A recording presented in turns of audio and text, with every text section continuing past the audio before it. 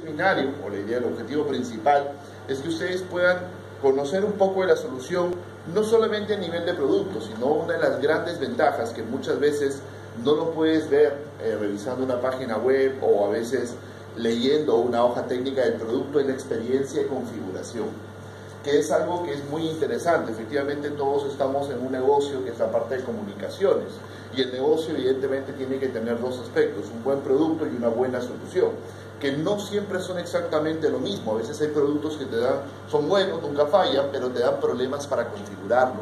Son muy pesados en la parte de soporte.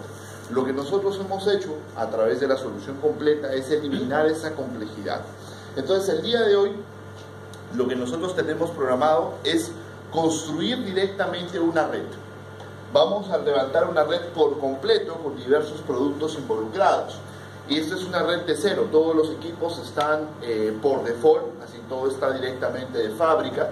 Y tenemos acá el router, eh, un router de, digamos, de doble one, tenemos un switch de 24 grande, tenemos luego un switch chiquito de 8, este, bueno, este es un modelo eh, que prende por PoE, casualmente, y tiene un puerto PoE, no necesita cable de energía, como pueden observar. La ventaja es que cuando a veces estamos instalando bueno, una oficina y nos quedamos sin puntos de red, la pregunta es cómo expandimos el punto sin necesidad de meter otro switch de otra línea no gestionable, el problema de energía, etc.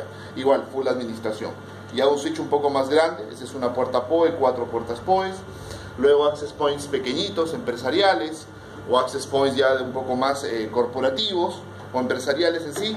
Y luego ya pasamos a algo un poco más de alta capacidad. Igual vamos a ir hablando un poco acerca de la solución.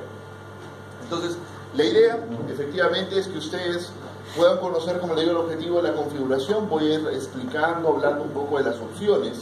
Vamos a ver algunos eh, temas principales de configuración, como forwardeo de puertos. Vamos a ver el acceso remoto, que es un tema muy importante. Voy a insistir bastante en ese punto, porque efectivamente nosotros la idea no es vender un producto, sino un servicio. Entonces eso efectivamente nos permite rentabilidad. Luego vamos a ver la parte de configuración de algunos aspectos como segmentos de redes, control de velocidades en la parte inalámbrica. Vamos a revisar configuraciones en los switches. Usualmente cuando se habla mucho de los switches siempre se involucra el tema de VLANs, que es el tema de segmentación.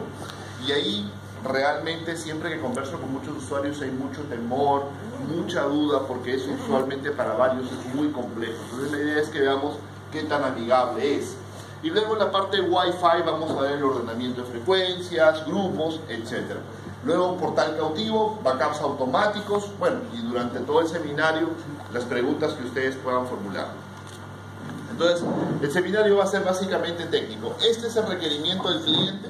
La idea es avanzar con el laboratorio 1 completo y bueno, viendo el tiempo como nos alcance, podemos ver algunos puntos adicionales. En realidad el cliente nos dice, quiero un router, perfecto, quiero tres switches, los tenemos ahí, y quiero que los switches se comuniquen por LACP, o sea, duplicar la capacidad de comunicación, ya no por un giga, sino por dos. Eh, digamos, más tráfico en algunas redes. Y cinco access points.